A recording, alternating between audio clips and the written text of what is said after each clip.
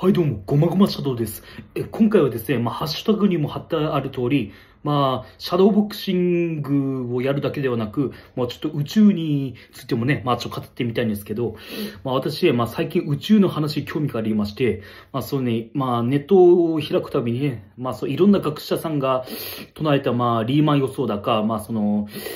宇宙に本当の始まり存在しないだとか、まあ、その、まあ、まあ、その、はるか未来の誰かが、まあ、タイムマシンを作って過去に戻ってビッグバンの要因になる何かを作った説だったり、まあいろいろあって面白いなって思って、で、皆さんもね、コメント欄で、まあその、まあぜひね、まあその、まあ、宇宙に関する興味深い話とかあったら、まあぜひ教えていただきたいです。で、ちなみに、シャドウボクシーの件なんですけど、皆さん今まで、その、いろんなコメントありがとうございます。まあ私ですね、まあその、なんだろうな、その、ね、まあその、まあ、ど素人だとか、まあ、その改善点しかないとか、まあ、いろいろ言われて、まあ、ショックを受けたり、まあ、厳しいご指摘を、まあ、受けてね、まあ、ショックをいただい、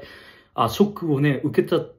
て、まあ、凹んじゃったりもしたんですけど、まあ、それによってね、まあ、その、いろいろね、まあ、考えるきっかけをもいただけたし、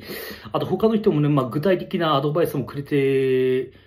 くれた味もしたので、まあ、その、まあ、とにかくね、まあ、その、皆さん、本当にありがとうございます。まあ、というわけでね、まあ、その、シャドーボクシングをやらせていただきたいんですが、今回はですね、まあ、こんな感じで、まあ、その、なんだろうな、まあ、こういうのもね、まあ、今までも、こんな感じでやってみたんですけど、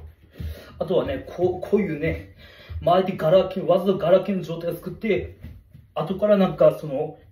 ガードを固めてみたいなね、ちょっと、バリエーションをね、ちょっといろいろ、まあ、研究させていただきましてね、まあ、こういう方向性でいくとしたら、どん、どんな風に、まあ、まずはどん、何を意識すればいいのか、どんな風に意識すればいいのかっていうのをね、まあ、ぜひコメント欄で押していただけたら幸いです。